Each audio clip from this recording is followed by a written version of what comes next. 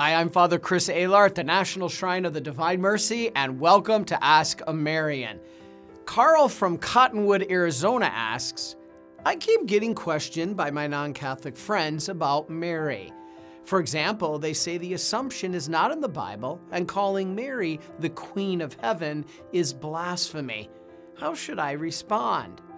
Well, Carl, we covered the Assumption last week, and since the coronation, or the Queenship of Mary, is coming up this Sunday on August 22nd, let's talk about that one for a minute.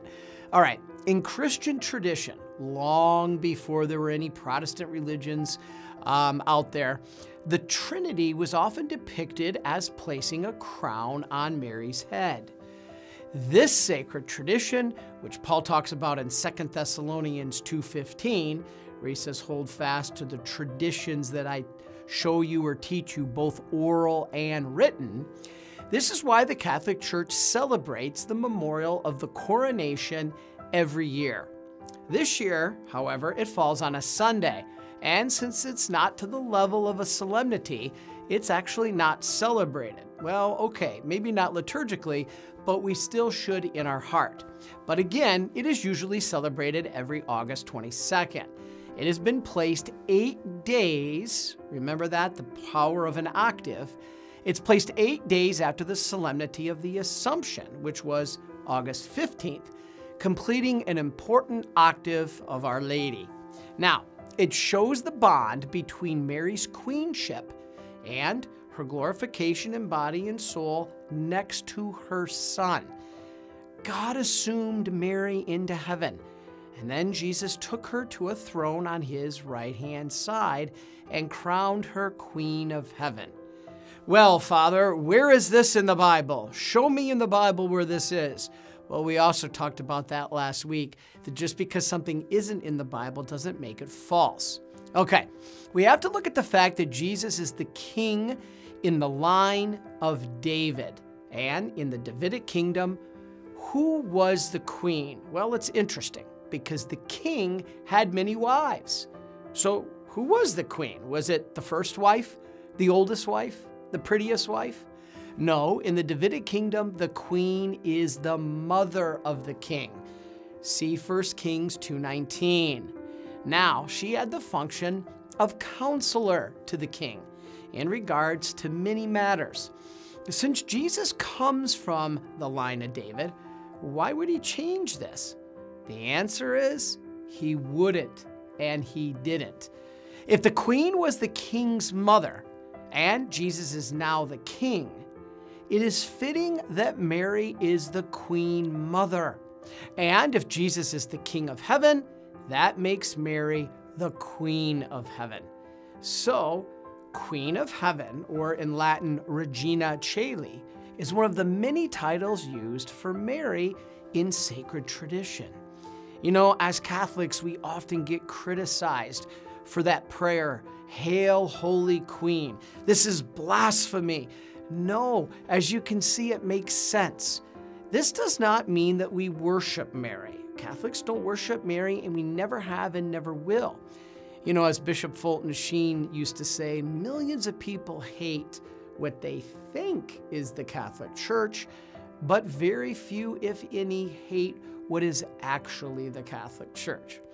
And Mary's an example. We honor her as queen, and we call her blessed because in Luke, 1 Luke, verse 48, Mary says all generations will call her blessed.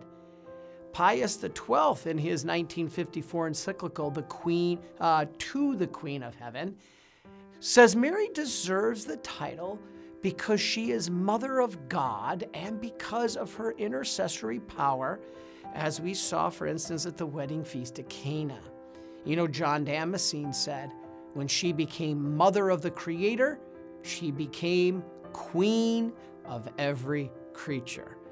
Remember, in 1 Kings 2:20, King Solomon, and who was he? The son of David, that line of kings in the, in the line of David, said to his mother Bathsheba, who was seated on a throne on his right hand side, he said, Make your request, mother, for I will not refuse you. So again, why would Jesus change this?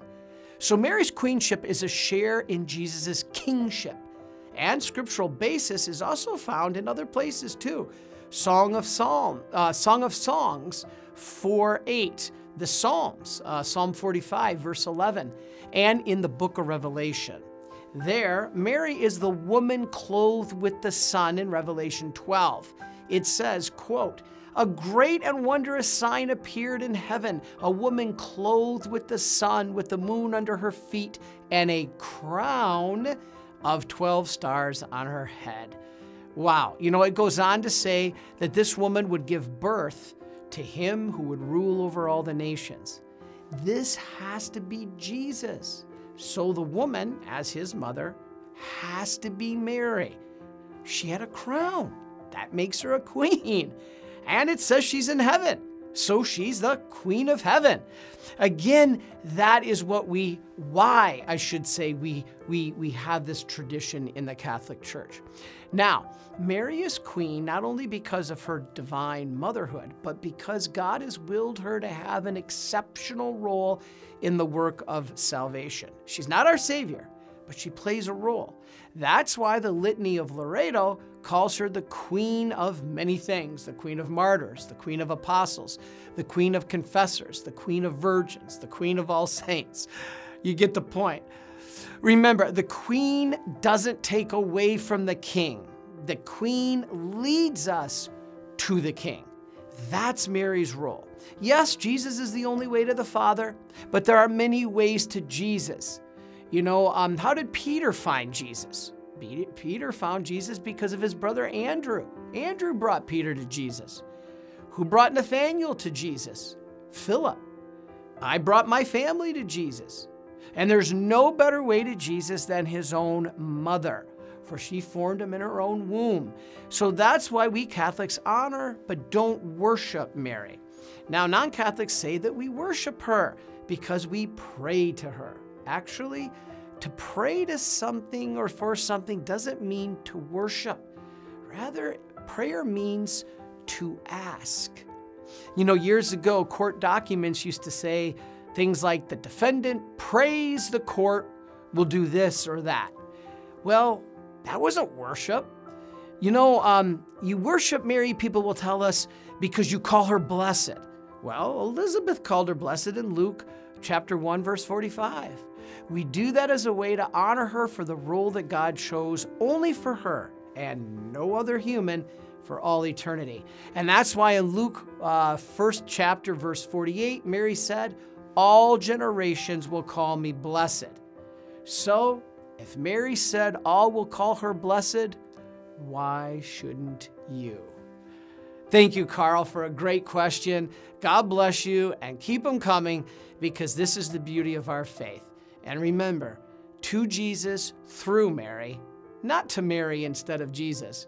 That's not what we say. And what we teach and preach is she's a gift given by Jesus on the cross as our mother. And may Almighty God bless you, the Father, and the Son, and the Holy Spirit. Amen.